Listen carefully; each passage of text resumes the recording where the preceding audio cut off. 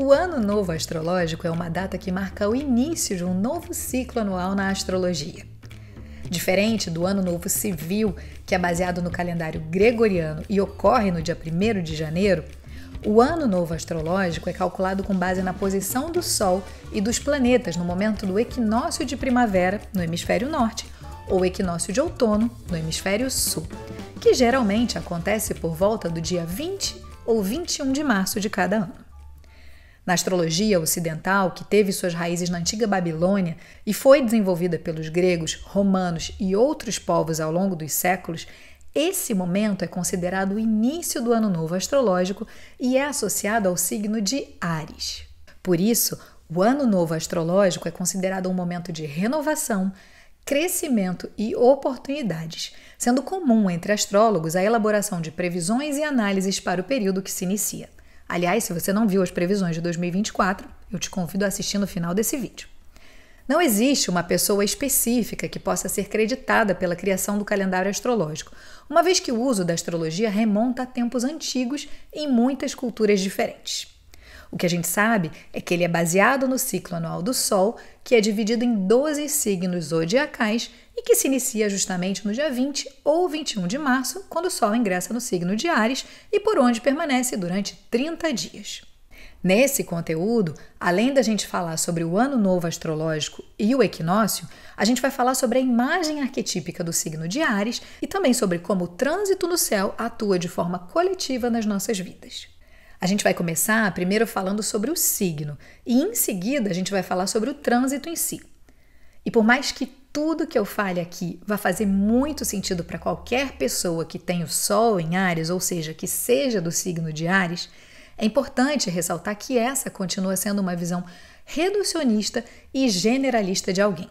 Afinal, nós não somos apenas o nosso Sol, mas sim uma leitura muito individual e particular de Sol, Lua, ascendente, do posicionamento dos planetas no nosso mapa natal e ainda dos trânsitos ou conversas que esses planetas travam entre si. O nosso mapa natal é a grande prova de que somos seres únicos. Mas bora então falar sobre pessoas do signo de Ares, claro, levando em conta essa observação que eu acabei de fazer. Do elemento fogo e da qualidade cardinal, Ares é o primeiro signo do zodíaco.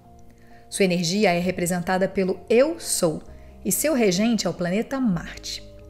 Suas características principais são a individuação, a iniciação, a impetuosidade, a coragem e o instinto de defesa.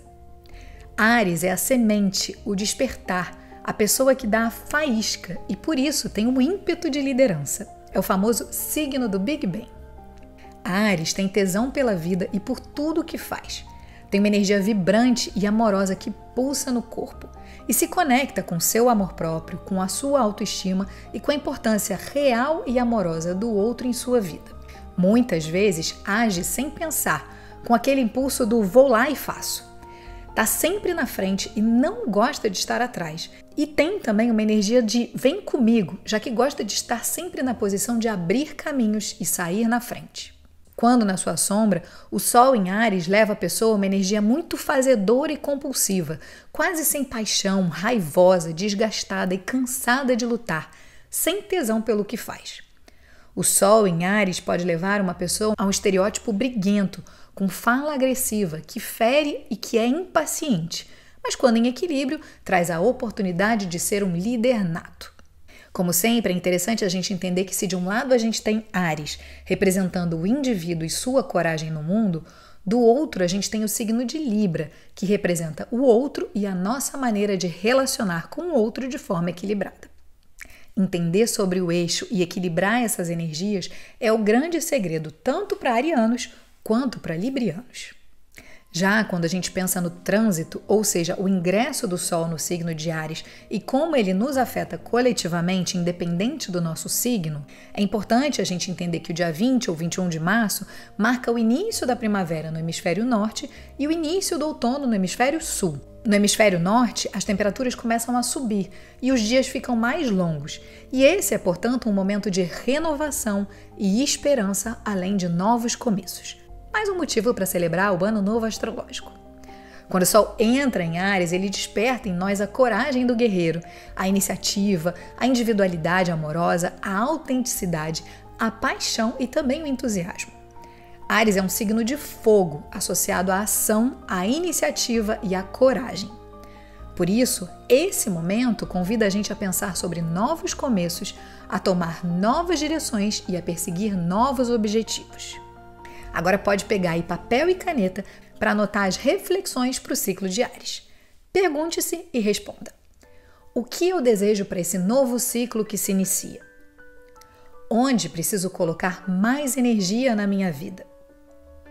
Em que área estou sendo convidada a exercer minha coragem e agir conectada com o coração? O que eu preciso fazer para ser líder da minha própria vida? Vale lembrar que a experiência pessoal durante o trânsito do Sol pelo signo de Ares pode variar com base em outros fatores astrológicos individuais, como o posicionamento dos planetas pessoais no mapa natal. Ainda assim, vale dar uma olhadinha em que casa astrológica você tem Ares no seu mapa para entender as temáticas que o Sol vai estar tá iluminando durante esse período.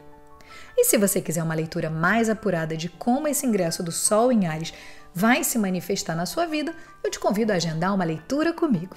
É só ir na descrição do vídeo para saber mais. Se você curtiu esse conteúdo, eu te convido a curtir, compartilhar, comentar para que eu possa seguir na missão de partilhar as chaves de conhecimento com você.